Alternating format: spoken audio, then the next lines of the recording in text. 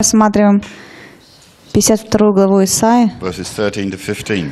с 13 по 15 стихи. Okay, the whole of this section of scripture that we're looking at right now И этот весь раздел, который мы читаем, divides easily into five sections, легко его разделить на пять э, частей, each consisting of three verses. каждый из которых состоит из трех стихов. The first line of each of that section is also the title or the subject. И каждое первое предложение, каждая первая фраза является также темой. Okay, if we take Этого Isaiah 52, 13, отрывка. 15, И первый наш, первая часть, 13-15 стихи, title that you could give here is Behold, my servant shall deal wisely.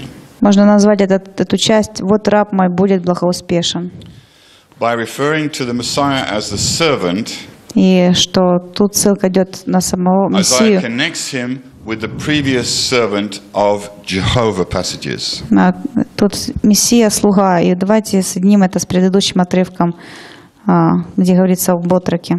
Okay, as we saw in Isaiah 42, verses 1 to 6, И, Как мы уже видели в 42 главе 1.6, they describe the mission of the servant. там описана миссия слуги, миссия отрока. In 49, 1 to 13, И 49, the mission of the servant, 13-15, миссия слуги. accompanied by the difficulties involved in that. Также там будут у него трудности перед, на дороге. In Isaiah 50, 4 to 9, the servant was seen as suffering physically, but short of death. И, и Исайя 50 глава, 4 и 9 стихи. Yeah. Mas- And no reason is given for his suffering. Получается, говорится об страдании Мессии, слуги, Окей. но нету причины, почему. Now we're in Isaiah 52, А теперь в Исайя 52, 13 to 53, 13, 12. 15 It is revealed that his physical suffering will lead to his говорится death. о том, что его физические страдания ведут к смерти. And the reason for his suffering and death will be given in verses 13, 14, and 15 of chapter 52. Причины страданий в 13-15 стихах. This is a summary of everything in chapter 53. Это, под- это подбитие итогов всего того, что будет в 53 главе. The verses 1 to 12 1 to 12 of chapter 53 are an elaboration on these first three verses. Elaboration. Okay, elaboration, a longer explanation. Ага. И предыдущие 12 стихов 52 главы э, просто э, расширенное объяснение трех последних. The emphasis in verse 13 И в 13 is the стихе exaltation of Messiah. Э, делается акцент на том, что Мессия возвысится, превознесен, вознесен, возвеличится. Speaking of his ascension to heaven and sitting down at the right hand of God the Father. Говоря о вознесении Мессии, как он воссядет одесную по правую руку Отца, Бога Отца. Exaltation speaks of Yeshua's resurrection. Превознесение также указывает на воскресение Иешуа, The word used here is lifted up, а здесь используется слово «возвыситься», describing his ascension, либо он вознесется and very high очень высоко, refers to his cessation or stopping or sitting down at the right hand of God the что Father. завершится тем, что он восседает одесную Бога Отца. The servant will act wisely, and Слуга, his actions will gain him a position of glory. э, слуга будет поступать мудро, и его действия э, приведут к славе. Verse 14 В 14 стихе explains that prior to his exaltation, объясняется, что до его вознесения Messiah is to suffer humiliation. Мессия пройдет через э, унижение, Okay, his body was so badly disfigured и его тело было так обезображено, he что он больше не был похож на человека. It is interesting to note when Pilate introduced Yeshua after his uh, beatings, интересно, что когда Ишуа представлял Иш- а, Пилат представлял Ишуа после he победения, used the phrase, Behold the man. Он сказал такую фразу «Все человек». Um, sort of meaning, yeah, maybe you don't recognize it, but this is still a man. Либо же он пытался сказать, ну вы что, не видите, это же еще человек. He was so badly beaten. Настолько он был обезображен. In the sufferings of Yeshua, this would happen at his scourging. И это происходило, когда над ним издевались. The 40 lashes were given with a multi stranded whip. И 40 э, ударов э, особенной плетью, такой сплетенной из нескольких нитей.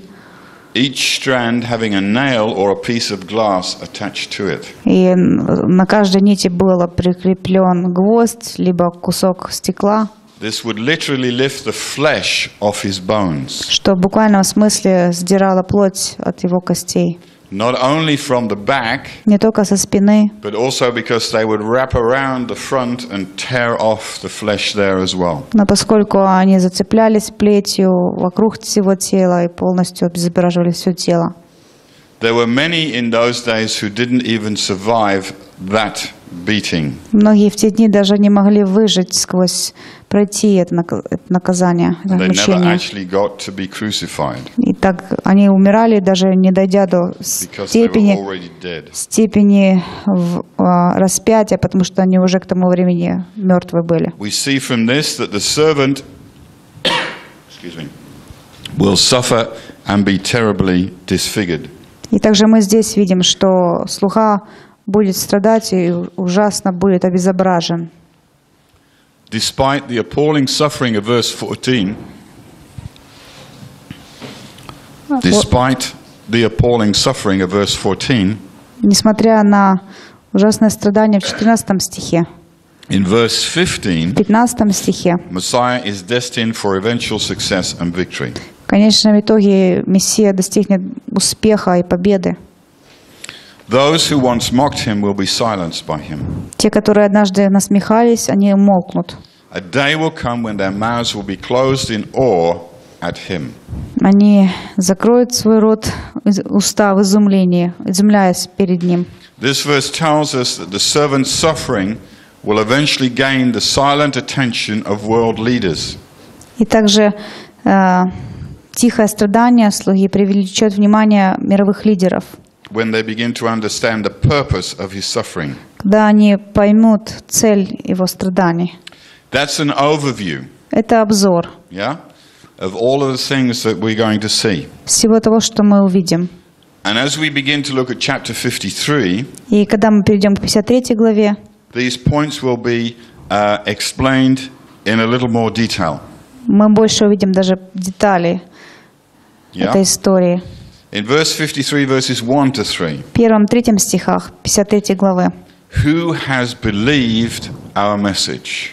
«Кто поверил слышанному от нас?» The emph- emphasis of verse 1 is on the unbelief of Israel. А, Акцент в первом стихе на неверие Израиля. Okay. Um, in verse 1 it says, Who believes our report? To whom is the arm of Adonai revealed? Кто поверил слышимому от нас и кому открылась мышца Господня?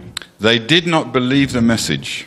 Они не поверили The посланию. message was that Yeshua is the Messiah. Посланию в том, послание в том, что Ишуа является Мессией. Isaiah, besides referring to Messiah as the servant of Jehovah, Также, как Исаия о нем говорит, он является слугой Иеговы.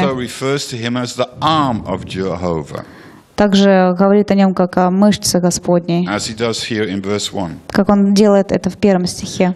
Earlier in Isaiah 40:10, И раньше, в 40 главе 10 стихе, Isaiah declared that the arm will rule for God. давайте прочитаем 40, 10, он говорит, что Господь, Бог грядет силу и мышца Его со властью, то есть Мессия является мышцей Его. Okay, does it say that in your Romanian, Ru- Russian translation? The same. Yeah. in Isaiah 51, verse 5, А Исайя 51, 5 it says, The Gentiles will trust in the arm. говорится, «Спасение мое восходит, и мышца моя будет судить народы». Тоже это о Мессии говорится. Мышца – это Мессия. In Isaiah 51, И verse еще «Острова 9, будут уповать на меня, и надеющиеся на мышцу мою уповать». In Isaiah 55, 51, verse 9, the arm will redeem. 51.9 сказано «Облекись крепостью мышца Господня» и Yeah? либо мышца Господня избавит. In Isaiah 52:10, Исайя 52.10 the arm will provide salvation. «Обнажил Господь святую мышцу свою пред глазами всех народов». Okay? This gives you a better picture of what Isaiah is trying to confer Таким образом, вы видите лучше, что Исайя хочет донести. when he talks about here the arm of Jehovah. Когда здесь в первом стихе он говорит о мышце Иеговы, мышце Yeah. Господней. What is Isaiah thinking Что when he's Исайя думает? using this terminology? О чем он думает, когда он использует эти слова? He's thinking of all of these things that we just talked about. О, всем том, что мы только что перечислили. The rule of God, О правление Бога. Gentiles trusting in the arm of God. Язычники э, возлагают свою надежду на мышцу Господню. The arm of God will redeem, Мышца Господня избавит, and the arm will provide и salvation. что мышца Господня э, даст спасение. Okay? Да? This is um, something which you need to understand. There is this term, this terminology, the arm of Jehovah. Вот, поэтому понимаете эту ф- термин, который звучит как мышца Господня, мышца Иегова. И нужно понять это во всей полноте. And as you read these verses in Isaiah, Isaiah declares it to us. He explains it. He explains what he means. И когда вы читаете эти стихи из Исаия, сам Исаия объясняет, что же это значит. Isaiah 53:1 reveals the identity of the arm. 53.1 мы, можно сказать, узнаем, что же это за мышца Господня. to be the same as the servant of Jehovah. Это то же самое, это тот же, кто является слугой Иеговы, отроком Иегова. Другими словами, Мессия. If we look at Isaiah 52, 13 to 15, the summary is Israel expresses surprise at what has just been stated. Возвращаясь к 15 стиху, видим, как Израиль изумляется всем вышесказанном, происшедшем. Okay, some of the reasons for this disbelief И причины, некоторые причины, почему это неверие, are given in Isaiah 53, verse 2. даны в 53 главе, втором стихе. Here. Um, 53.2. Yeah. For before him he grew up like a young plant, like a root out of dry ground. He Ибо он was not well formed or especially handsome. зашел перед ним, как отпрыск и как росток из сухой земли, нет в нем ни вида, ни величия. We saw him, but his appearance did not attract us. Мы видели его, и не было в нем вида, который бы привлекал бы нас к нему. For the Jewish people at that time, Потому что для евреев того времени, for the leaders, для лидеров, there was nothing about his first coming which seemed to them unusual. ничего не было необычного в его приходе, ничего, чтобы они заметили. Naturally speaking, же другими словами, he was born in a normal, indeed rather poor circumstances. он родился в обычной бедной семье.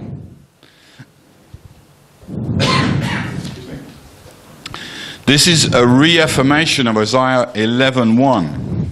Это подтверждение, повторение Исаия 11.1. But a branch will emerge from the trunk of, Yish- trunk of Yishai, a shoot will grow from his root. где сказано, произойдет отрасль от корня Исеева, ветвь произрастет от корня его. Furthermore, we can gather from this scripture that there was nothing in his outward appearance to draw men to him. Еще что можно сказать, ничего не было в его внешнем облике, чтобы привлекало людей. We can assume he probably looked like any other man from Nazareth. Можем предложить, что он выглядел как обычный э, гражданин Назарета. He didn't have one of those halos hanging over his head. Над ним не висел э, этот, как его, нимб, нимб э, ангелов, либо Да. святых. His face was probably not shining. И также Его лицо тоже не слишком было He had his hair in a normal haircut, привлекательным. Ну и обычная стрижка была, and he had a beard. и борода была. There was nothing, as far as they could see, that in his outward appearance, Ничего не было такого, по крайней мере, как они это все he видели. probably was not even especially handsome. И вполне возможно, что он не был симпатяшкой. The scripture never refers to him in that way. Никогда Писание о нем так не говорило. Uh, if you look in the Tanakh, when it describes Saul, the И когда вы посмотрите на описание царя Саула, it specifically says там в частности сказано, he was a handsome он man, был more привлекательным человеком, более around. привлекательный, чем кто-либо другой. And he was tall, И он был высокий, a head bigger than anyone else. на голову выше всех остальных. Wow, that was some guy, girls. О, вау, девочки, какой парень. Okay, they turned all the, he turned all the girls' heads.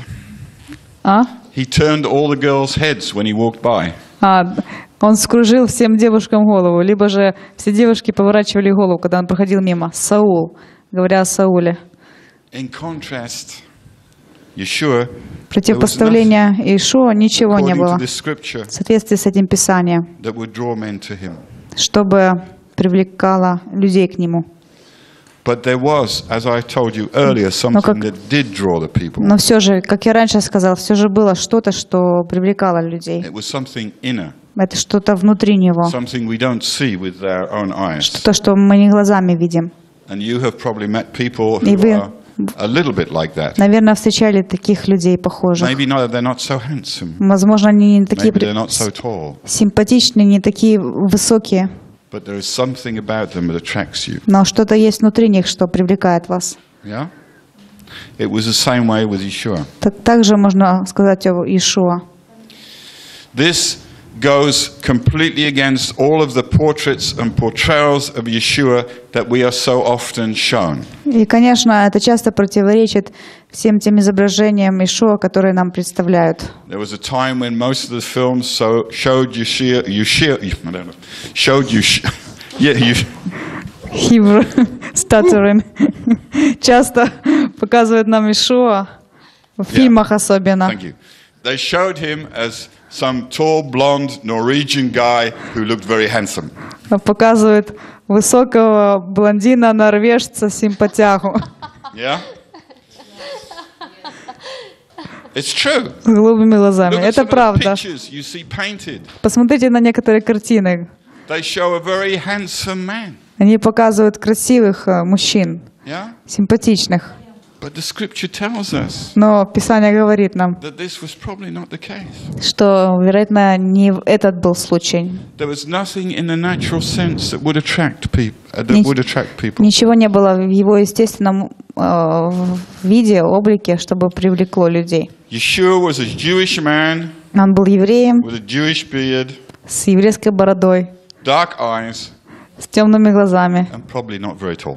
And probably not very tall. А? And probably not very tall. И, наверное, не очень высоким.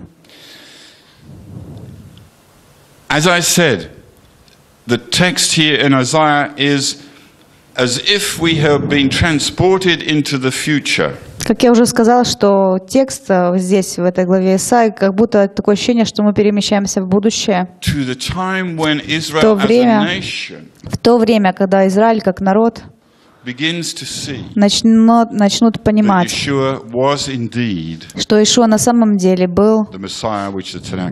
Мессией, о котором говорит Танах. And Israel confesses И Израиль э, исповедует, that when the servant was with them, что когда слуга был вместе с ними, they did not notice anything special они ничего особенного не замечали about his outward appearance в его внешнем облике, that would have attracted them to him. Чтобы привлекло их к нему. Еще как мы можем посмотреть на этот текст, текст из Исаии, это увидеть этот текст, Yeah. это как исповедание. Israel as a nation is confessing its sin Когда Израиль, как народ, исповедует свой грех. of not seeing who Yeshua really was. Грех того, что они не увидели, кто же он на самом деле. Ишо, кто же он был. His childhood and growth were no different from those of the others. Его детство, его рост не отличался от э, других людей. In verse 3, В третьем стихе. what does verse 3 say? Let's Что just read сказано it в again третьем for стихе? ourselves, okay? In verse 3, people despised and avoided him, a man of pains, well acquainted with illness, like someone from whom people turn their faces. He was despised, we did not value him. Он был презрен и умолен пред людьми, муж скорбей, изведавший болезни, и мы отвращали от него лицо свое. Verse 3 shows us that his whole life was characterized by rejection and suffering. А, В третьем стихе показано, что а, вся его жизнь была в страдании и отвержении. At no time was he accorded the respect due to his royalty, due to his kingship. Again? At no time Не было- was he accorded the respect due to his royalty or kingship. Не было ни одного такого а, времени, момента, чтобы его почитали за его царственность. We have to remember that even when Yeshua came the first time, Ведь нужно помнить в первый раз его прихода, even if he appeared as the suffering servant, даже когда он явился как страдающий слуга, he was still the king. он все еще был царем. And yet he was not recognized. Однако его не признавали. He was despised, rejected, Он презрен, and отвергнут, people in general и люди в общем did their best to avoid him. избегали его. I mean by that Что я имею в виду? Mostly those who should have recognized who he was. В основном те люди, которые должны были бы узнать его. Кто он?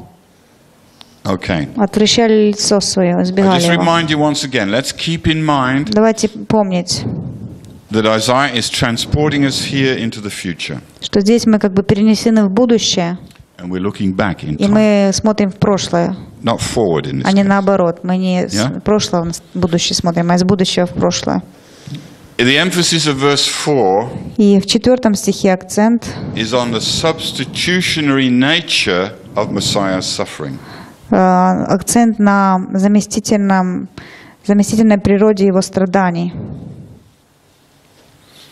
When this happened, Когда это произошло, Israel did not understand this. э, Израиль этого не понимал. You can see that in verse 4, uh, the last part. Вы можете это увидеть в четвертом стихе, во второй части четвертого стиха. In fact, it was our diseases he bore, our pains which he suffered, yet we regarded him as punished, stricken, and afflicted by God. А мы думали, что он был поражаем, наказуем, уничижен Богом. Do you remember what the Pharisees and Sadducees said at the time Помните, что фарисеи и садукеи тогда говорили, когда Ишуа висел на кресте? It was basically the same as what you read here. То же самое, что и мы здесь читаем. They did not recognize, Они не узнали, they didn't want to они не recognize. хотели узнать. They thought he was just being punished Они думали, что он просто наказан because of his claim to be the Son of God, из-за его претензий на то, что он является сыном the Бога, blasphemy. что богохульствует он. Они обвиняли его. And they even said, in not in perhaps so many words, but in the way that they reacted, Но они даже говорили, ну не словами, но по крайней мере реакция их. that they figured that the fact that he actually died on the cross was because God had rejected him also. Говорили, что «О, он умирает на кресте из-за того, что Бог его, его и Бог отверг But he даже. was actually being afflicted by God. Но, с- что на самом They considered his suffering to be a punishment from God. И они думали, что его страдание есть наказание от Бога.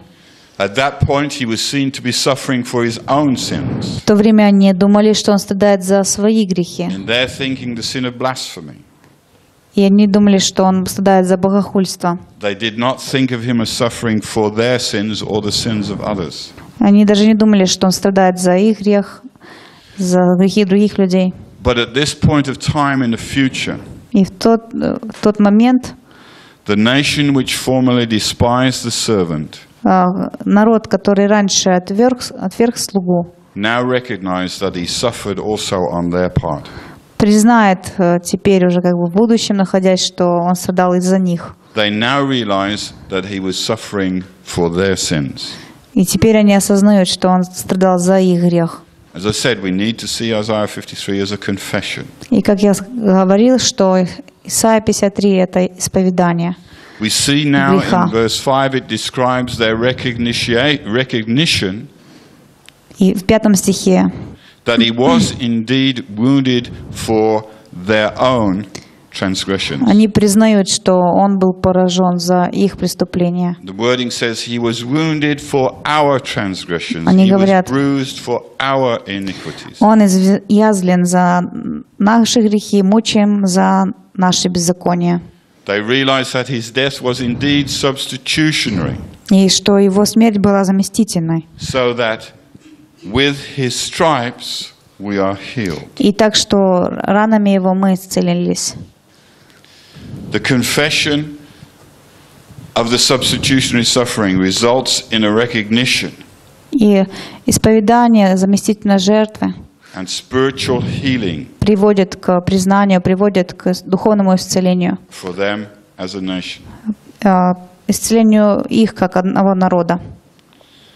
In verse 6, В шестом стихе Messiah was not suffering for his own sins. э, Мессия не страдает за свои грехи.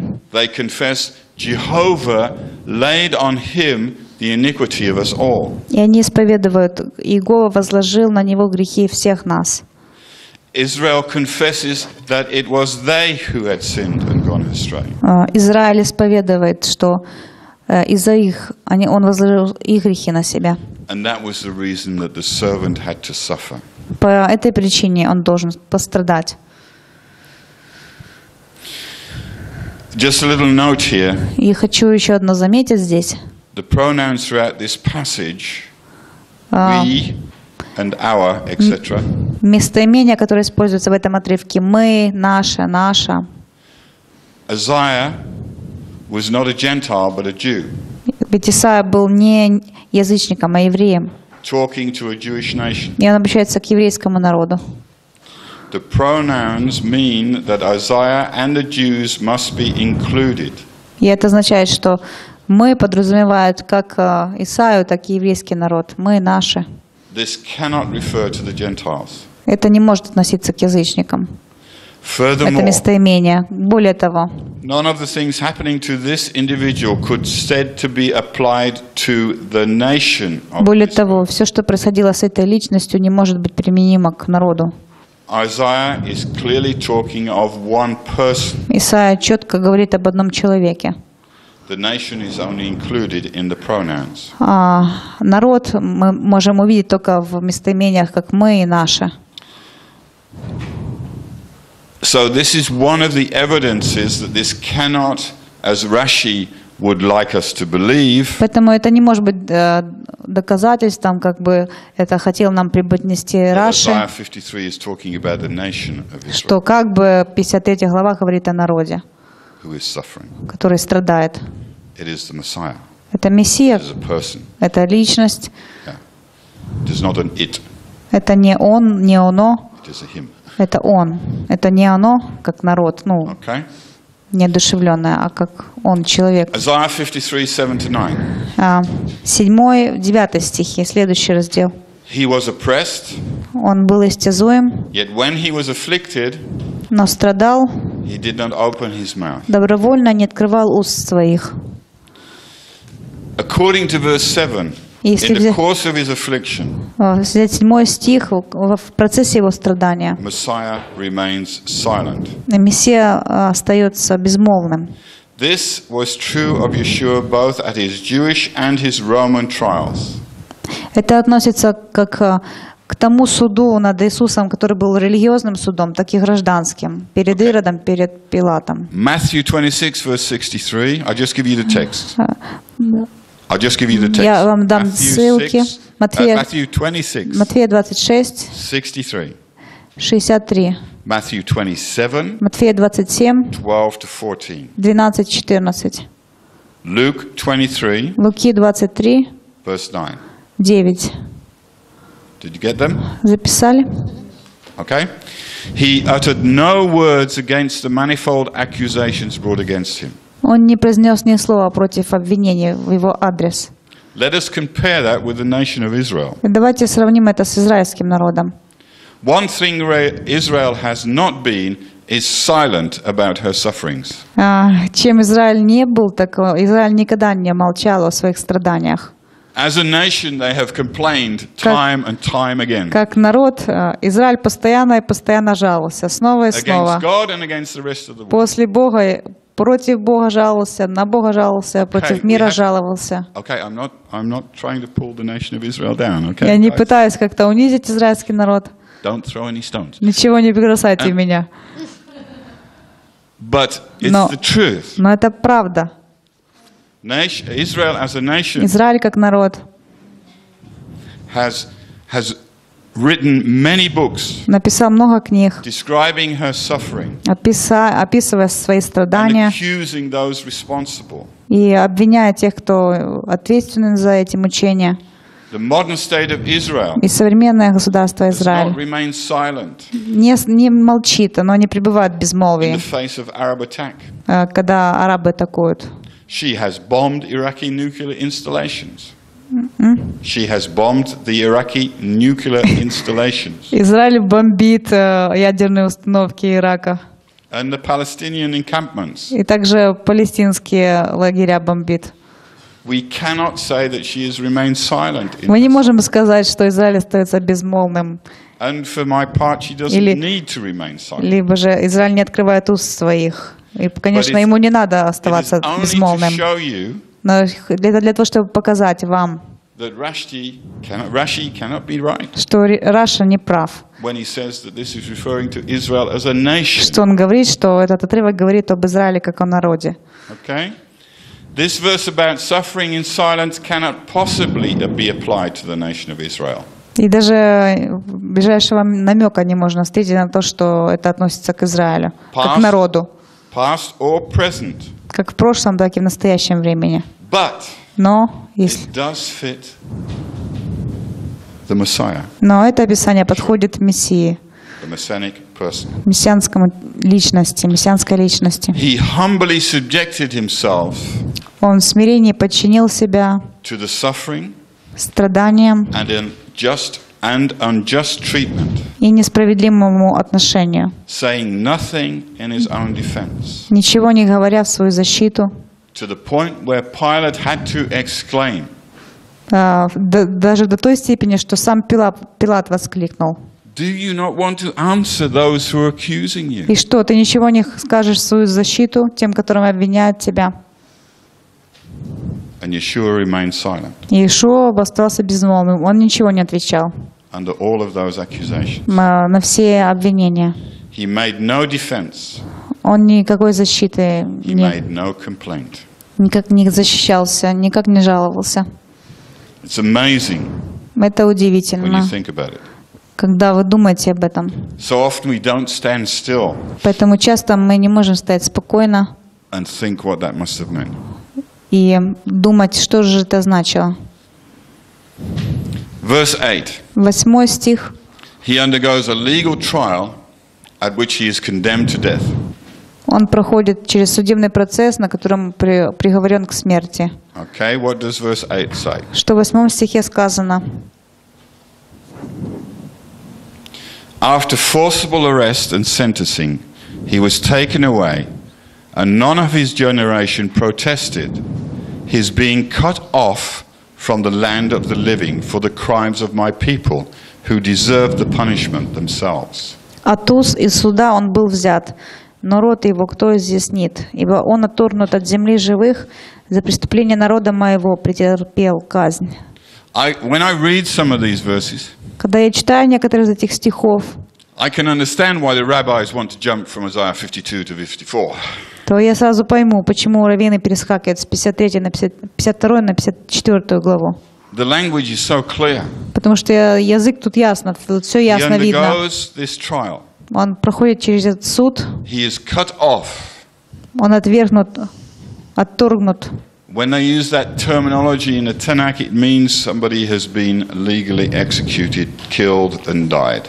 Когда они говорят такое слово в Танахе, отторгнут, это значит, что кто-то был легально при- э, приговорен к смерти. But he was willing to suffer the penalty of the law. Но все же он добровольно желал э, пройти через наказание himself, не за себя, here, но, как здесь сказано, people за преступления моего народа, которые сами заслуживают наказания. Он был казнен за преступления народа. Transgression is a word in English for sin which emphasizes the breaking of, a, of the law or Torah. Преступление, которое, ну, это намек либо значение на нарушение Торы, на нарушение законов.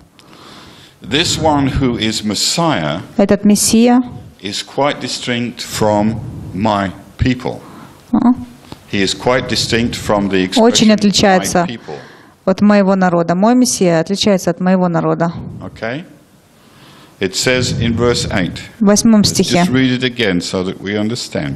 Снова прочтем. After forcible arrest and sentencing, he was taken away, and none of this generation protested his cutting off from the land of the living. For the А ту су- из суда он был взят, народ его кто изъяснит, ибо он отторгнут из земли живых, за преступление народа this, моего претерпел казнь. Эта первая половина, очевидно, говорит о одной личности. And if you understand the context, it says this one person И если вы понимаете контекст, этот э, один человек was cut off from the land of the living был отторгнут от земли живых for the crimes of. Из-за из преступления народа моего. When the scripture uses the terminology my И когда в Писании говорится «народ мой», then it means the people of Israel. «мой народ», «народ мой», то говорится об Израиле, Okay, I'm just checking on time here. народе израильском. How long have I got still? Хам- Сколько еще времени? Five minutes still. Okay. Let's just take it up there. Um,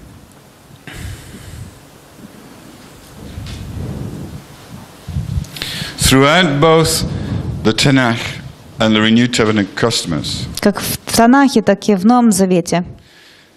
my people is always a reference to Israel. Мой народ, это всегда идет ссылка на народ израильский. Messiah will be killed Месса- Мессия будет убит because of the sins of Israel. из-за грехи Израиля. And it is here for the first time that we see in Scripture И здесь впервые в Писании мы видим that it clearly states э, Четкое утверждение, что Мессия умрет.